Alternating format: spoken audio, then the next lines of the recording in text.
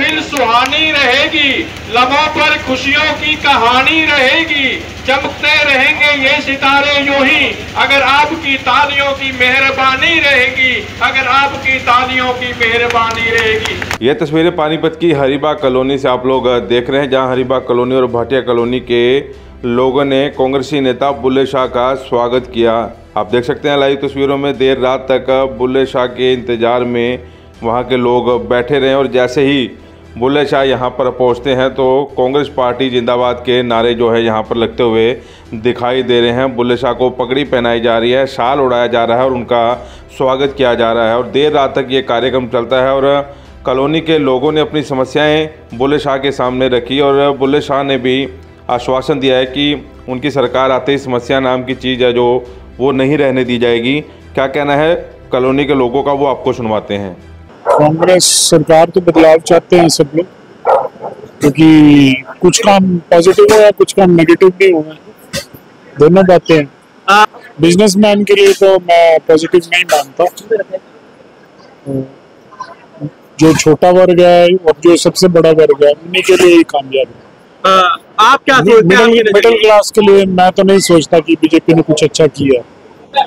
अभी एमएसएमई में इन्होंने 45 डेज़ का जो वो मेमोरेंडम लेके आ रहे हैं। मैं नहीं सोचता कि इससे बिजनेसमैन को कोई बेनिफिट होगा। इस बार पानीपत में किसको विधायक देखना चाहेंगे? ऑब्वियसली बुल्ले शाह जी को। वजह क्या है? काफ़ी टाइम से एफर्ट्स कर रहे हैं पूरे शहर के लिए एफर्ट्स कर रहे हैं। और जब भी जाते हैं काम होता है। बुल्ले शाह के साथ। बुल्ले शाह है। ऐसी क्या बात है बहुत कुछ है इनमें। जो कभी सुना भी नहीं होगा वो बहुत कुछ है सत्ता से तो ये बाहर है कई सालों से। सत्ता से बाहर है पर अब अंदर आएँगे। ये भी पक्की बात है। क्योंकि कांग्रेस अच्छे काम करती है। कौन से काम अच्छे लगे बहुत अच्छे लगे काम जो काम किसी ने नहीं किया कांग्रेस पार्टी ने किया है। लेकिन सरकार मोदी की वो कहते हैं कि हमने महिलाओं की सुरक्षा की महिलाओं को हर तरह की सहायता दी। हाँ कोई सहायता नहीं दी। सब चीज़ में महँगाई करी है सब चीज़ में महँगाई। बिजली के बिल महँगे सिलेंडर महँगे और घरों के टैक्स महँगे, हर चीज़ की महँगाई करी है। मोदी जी अच्छे लगते हैं। कोई ऐसी बात नहीं है, मोदी जी नहीं अच्छे लगते।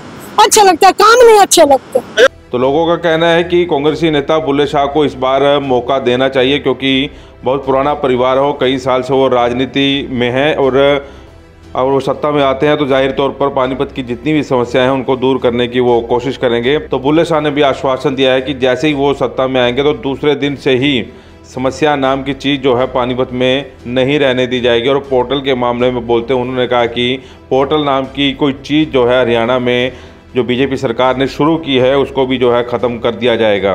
लोगों का प्यार है, कांग्रेस के प्रति आकर्षण है, बीजेपी से तंग है। ये कांग्रेस का आकर्षण है या बुल्ले शाह के लिए आकर्षण है? नहीं ये तो लोगों का प्यार है पर पार्टी पार्टी है भैया पार्टी के पार्टी का भी तो सारा किया हुआ धरा तो पार्टी का ही है ना। आज के कार्यक्रम में समस्याएँ भी सुनी है लोगों ने अपनी डिमांड भी रखी है। किस तरह से पूरा होगी? क्या कुछ मुख्य समस्या बताइए कोई कोई समस्या तो वही है जो बेसिक समस्याएँ हैं शहर की। उसको दूर कर देंगे हम वो तो सरकार बनते ही पहले दिन ही ख़त्म हो जाएँगी। समस्या नाम की चीज़ नहीं रहेगी। पोर्टल्स की काफ़ी समस्या सुनने को रही खत्म पोर्टल का तो हम लिख के दे ही रहे हैं। पोर्टल पीपीपी कमेटी और हम्म, तहसील ये दोनों अलग होंगे।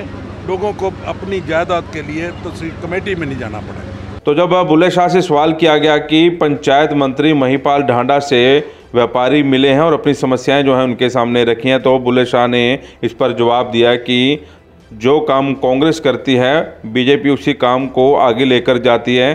दस सालों से बीजेपी ऐसे कामों को क्यों नहीं कर रही थी? तो बुले शाह का क्या कहना है इस सवाल पर? वो भी आपको सुनवाते हैं। ये तो उसी को पता हो क्यों जाके अब वैसे भी हम जो काम करते हैं उसके अगले दिन वो शुरू कर देते हैं। इनका इनका कोई इलाज नहीं है। होटल में। आज दस साल हो गए इनकी सरकार बने तो कर लेते हैं। व्यापारियों की सुनते तो सही सुनी तो किसी ने है नहीं। मतलब आपने 11 तारीख का प्रोग्राम रखा इसीलिए वो अब ये सब तैयार हो गया जी चलो पूछ लेते हैं। कोई कर ले ग्यारह को को- कौन जाएगा इनके पास? उनसे दुखी तो हमारे पास आ रहे हैं। अगर ये भले का काम करते तो क्या ज़रूरत थी? कुछ लगता है आपको कि आज जो चिंतन शिविर वो कर रहे हैं कुछ व्यापारियों की बातचीत करेंगे कुछ लगता है आपको कुछ फ़र्क पड़ेगा? उससे कुछ उनकी सुनी जाएगी व्यापारियों की। अंदर से व्यापारी बहुत दुखी है। भगवान जाने जी क्या करते हैं? उनके बारे में क्या कहें? हम अपनी बात करते हैं कि हमें जो व्यापारी बात आके बताएगा जो हमारा मकसद है वो चीफ मिनिस्टर हमारे हुडा साहब आएँगे उसका प्रोग्राम का जो भी निदान होगा, जो हम कर सकते हैं उन्हीं से वहीं पे हाँ करवा देंगे और उसको करके देंगे। तो लगातार बुले शाह और कांग्रेस पार्टी का परिवार बढ़ता जा रहा है जगह जगह पर बुले शाह को समर्थन मिल रहा है। देर रात हरीबा कॉलोनी और भाटिया कॉलोनी के लोगों ने उनका स्वागत किया और आश्वासन दिया कि इस बार वो कांग्रेस पार्टी को जिताने की कोशिश करेंगे। वैसे पानीपत के लिए सूर्य शर्मा के साथ कुलवंत सिंह।